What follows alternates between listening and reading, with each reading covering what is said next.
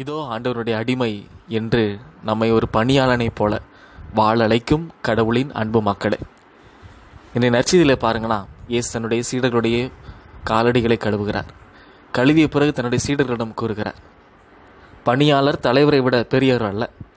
தூது அனுப்பப்பட்டவர் அவரை அனுப்பியவரை விட பெரியவர் அல்ல என்று உறுதியாக உங்களுக்கு சொல்கிறேன் இதை நீங்கள் மனதில் வைத்துக் கொண்டீர்கள் என்றால் நீங்கள் உண்மையிலேயே பேறு பெற்றவர்கள் என்று இயேசு தன்னுடைய சீடர்கள்ட்ட சொல்வதாக பார்க்கிறோம். பொதுவாக இயேசு தன்னுடைய பணிவாழ்வில் இரண்டு இடங்களில் யாரெல்லாம் பேறு பெற்றவர்கள் என்று போதித்ததாக பார்க்கிறோம்.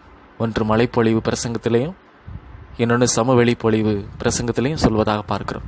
யாரெல்லாம் இறக்கமுடையோர் பேறு பெற்றோர் என்று சொல்லுகிறார் கனிவுடையோர் பேறு பெற்றோர் தூய உள்ளத்தோர் பேறு பெற்றோர் ஏழையின் ஏழையரின் உள்ளத்தோர் பேறு பெற்றோர் என அடிக்கடிக்கு அவர் சொல்வதாக பார்க்கிறோம். ஆக அந்த ஒட்டுமொத்த பண்பையும் கொண்ட ஒரு மனிதரை இந்த நற்சீரில் இயேசு குறி குறிப்பிடுகிறார். அதுதான் பணியாளன். ஏன்னா பணியாளனுடைய வாழ்க்கையில் தான் பார்க்குறோம். அந்த பணியாளன் எப்படி இருப்பான்? ரொம்ப கனிவோடு பழகுவார். தலைவர் என்ன சொல்கிறாரோ அதை அப்படியே கடைப்பிடிப்பான். தலைவர் திட்டுனா கூட அது பொறுமையோடு அதை ஏற்றுக்கொண்டு தன்னுடைய பணி செய்வதில் மட்டும்தான் அவன் க கருத்தோடு அவன் செயல்படுவான். ஆக அந்த பணியாளனைப் போல நாம் நம்முடைய வாழ்விலே பணி செய்ய தான் நாம் அழைக்கப்படுகிறோம். இயேசுனுடைய வாழ்க்கையில் இரண்டு பேரை அவர் பேறு பெற்றோர் எனவும் இரண்டு பேரை ரொம்ப பெரிய அளவில் வாழ்த்துவதாக நாம் பார்க்கிறோம். முதல் மனிதர் நூற்று தலைவன்.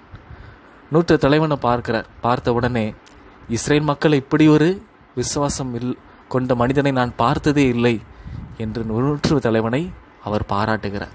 ஆக நூற்று தலைவனுடைய விசுவாசத்தை மட்டும் இயேசு குறித்து பாராட்டியிருக்க மாட்டார்.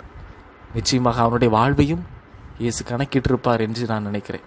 ஏனெனில் தன்னுடைய பணியாளர் நன்றாக இருக்க வேண்டும். உடன் நலனோடு இருக்க வேண்டும் என்று இயேசுவை தேடி அவன் செல்லுகிறான். ஆக அந்த ஒரு தலைவனைப் போல நாமும் பணி செய்வதிலே ஆர்வமாக இருக்க வேண்டும். இரண்டாவது பாருங்களா இயேசு திருமுழுக்கு யோவானை பாராட்டுகிறார். மனிதர்களை இத்தகைய ஒரு மனிதரை நான் கண்டதே இல்லை என்று அவரை வாழ்த்துவதாக பார்க்கிறோம். ஏன்னா திருமலுக்கு யோவன் என்ன பண்ணாருன்னா அவரை குறித்து பலர் சொன்னாங்க நீர் தான் வரவிருப்பவரா நீர் தான் மெஸ்ஸியாவா? என்று சொன்னபோது இல்லை நான் அவர் அல்ல.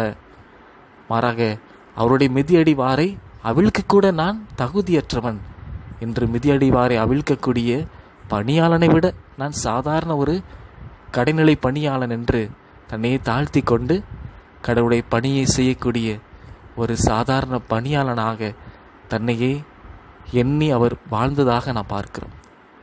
ஆக இந்த இரண்டு மனிதர்களைப் போல நாமும் நம்முடைய வாழ்வில் கடவுளுடைய பணிகளை நாம் பெற்றிருக்கிறோம் நாம் இருக்கும் இடத்தில்.